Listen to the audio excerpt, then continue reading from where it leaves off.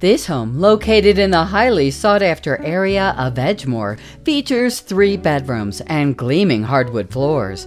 Enjoy entertaining in the light filled family room or cooking in the kitchen. This home is complete with a finished third floor, which could be used as an office, and a lovely landscape garden.